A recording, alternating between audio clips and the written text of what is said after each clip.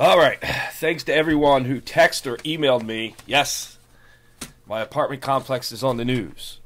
Thank God it is not in the area where I live. In fact, I just walked back there because I kept getting so many text messages about it. I didn't even know that part of the complex existed, and I've been here eight years. Anywho, nonetheless, let's get to the report. As you know from the last video, we announced our winner of the week and me as the turkey of the day. It's probably going to be turkey of the week, but nonetheless, we're back up. We did lose November. There's a link you can go back and watch the videos.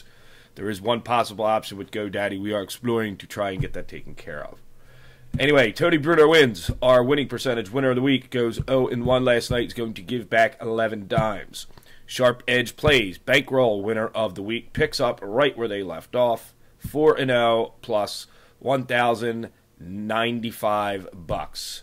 Betting as a business goes 3 and 4. They're going to give back 129.5 units. Bobby Clark Sports comes back nice, 2 and 0 plus 600 bucks. Basher 1 and 0 plus 15 dimes. Millionaire Picks 1 and 0 plus 550 bucks. Pete James at Parlay Pete Sports struggles minus 22 dimes. Payne Insider 1 and 2 minus 30 dimes. Primetime Sports Advisors 1 and 2 minus 3.25 units. Rock Hard Picks struggles 0 and 2 minus 80 dimes. Sports investing is a business. They're running some money back guarantees 1 and 0 plus 100 units.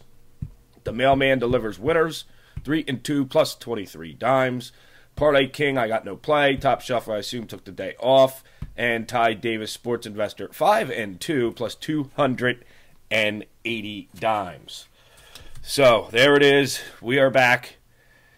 And I am not in a sinkhole, which thank God, because I don't know what the heck I would do in that situation.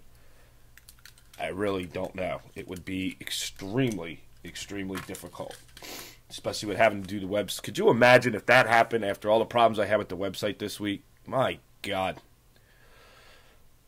Nonetheless, we are the number one sports monitor on the internet. I will keep this short and sweet because they're late and I want you to see them and uh, get their plays, and this way you can move on. Full card tonight should be very interesting to see. Number one sports monitor on the internet. Email me, info at Parlay Help. Love to read some emails.